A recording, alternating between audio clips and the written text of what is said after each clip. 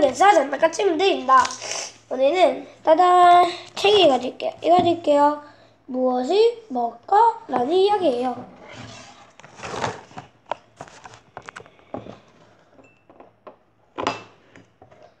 읽어드릴게요.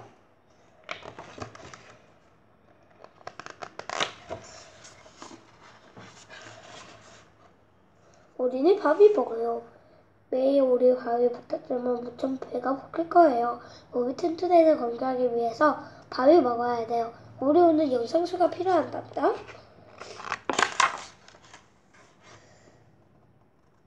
음식을 먹으면 어떤 일이 생길까요? 우리 음식을 먹으면 우선 소화시켜야 돼요. 소화되지 않으면 음식은 우리 몸에 아무 도움도 되지 않아요. 어, 이거 강아지야, 강아지. 얘 소화시키는 부분 여기다가. 어, 강아지 두 명, 두 마리. 여기, 짜잔. 와. 신기. 어, 네. 불곱들 무엇든지 먹어요. 많은 동물들이 눈에 띄기 거 모조리 먹어치워요. 딸기 식물 뿌리뿐도 아니라 다른 동물까지 잡아먹지요. 곰은 무엇을 먹고 사는지 볼까요?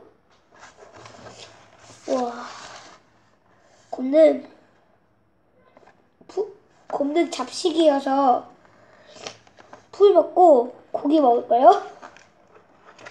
짜잔. 아하! 곰은 물고기를 먹는데요. 개는 개 사러 먹겠죠? 사랑을 하는 동물들, 사자나 호랑이, 늑대 같은 동물들은 다른 동물들을 먹고 살아요. 그래서 먹이가 돼 다른 동물들은 사랑하지요. 동물들은 스스로 먹이가 되지 않으니까요. 사람들 위험하다고 위험하다고 힘든 힘들답니다. 와, 와 먹, 먹는 것들이 이런 거다.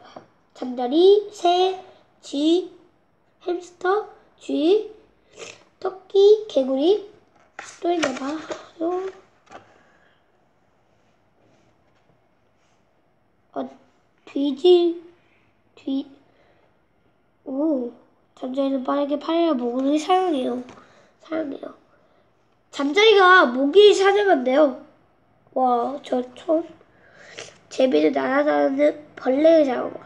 제비는 날아다니는 저 벌레. 그 다음에 뒤, 귀지는 벌레를 잡아먹어요. 숲들쥐는 다른 동물들을 잡아먹지 않아요. 대신 결과 풀 달콤한 딸기를 먹죠. 어, 딸기 먹고 싶다. 어, 네. 어.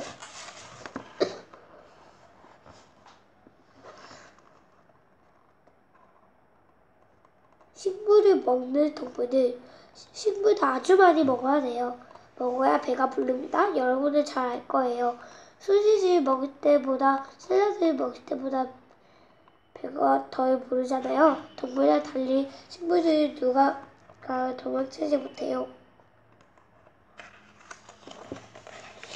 와우, 길이. 오 여기 여기가 위다. 위. 위가 소화시키는 부분이에요. 어, 네, 다음 페이지.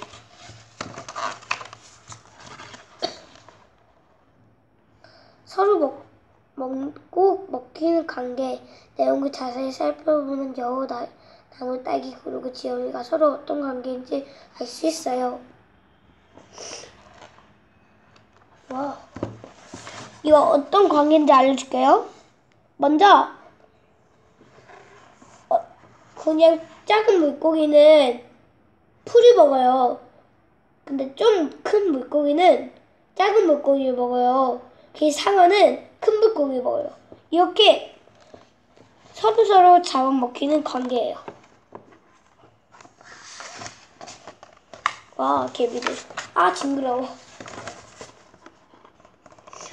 자기 정화를 만드는 동물. 사람들은 정약공과 채소, 과일, 나무를 심어요. 그러면 정원이 기름, 무, 토마토, 사과를 먹을 수 있죠. 하지만 이런 생각을 하는 건 사람뿐만 아니에요.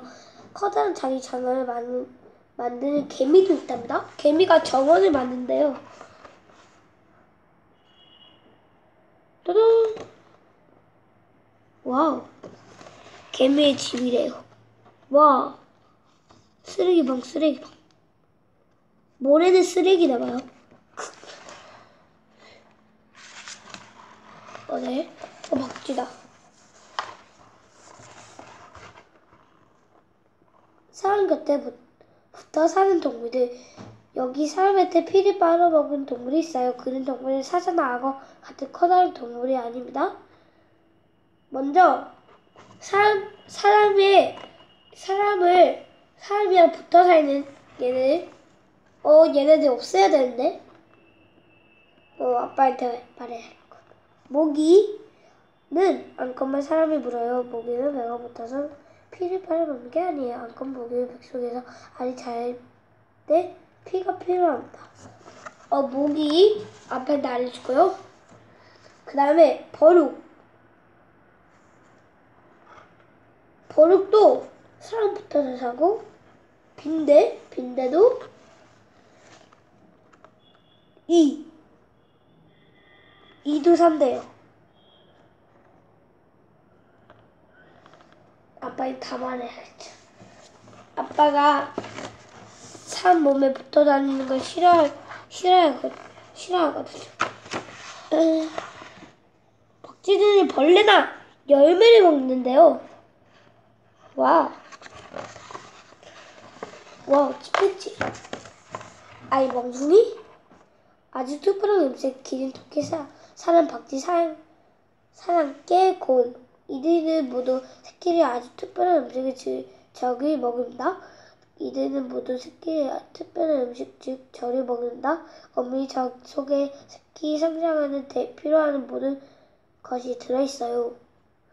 새끼 엄마는 가슴에서 젖을 빨아먹지요. 그 옆에 새끼를 낳아 젖을 빨 먹이를 동물이 포, 푸유 동물이라고 해요.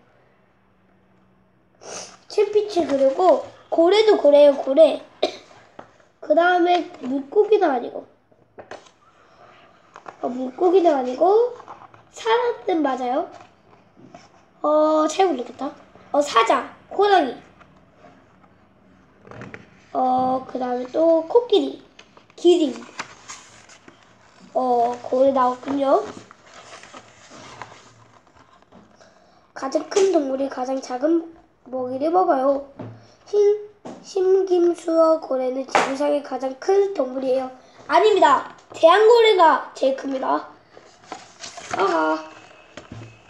대왕고래가 제일 커요. 근데 여기에서는 이렇게 나와 있네요. 대왕고래가 제일 커요. 흰수고래는 지구상에서 가장 큰 동물이에요. 코끼리나 공룡보다 크지요. 그런 흰수염 고래는 뭐를 먹을까요? 흰, 흰긴 수염 고래는 큰 동물을 먹지 않고 아주 작은 새우 종류를 먹는답니다. 이만큼 작은 거를 먹는데요. 크립, 크립도 많은데요. 크립. 오. 먹이를 저장하는 동물들 가을에는 먹이를 구하기 쉽지 않아요. 그래서 많은 동물들은 곰, 곰처럼 거북점을 잡아서 물속에 저장된 지방을 쓰지요. 다른 동물들은 먹이를 저장지에 놓고 겨울에 납니다. 오! 얘는 여기에서 저장하는데요. 어, 네, 끝! 오늘은 무얼 먹을까? 라는 이야기를 이거한데 어땠어요? 재밌었나요? 그만 다음에 또 봐요. 바이바이!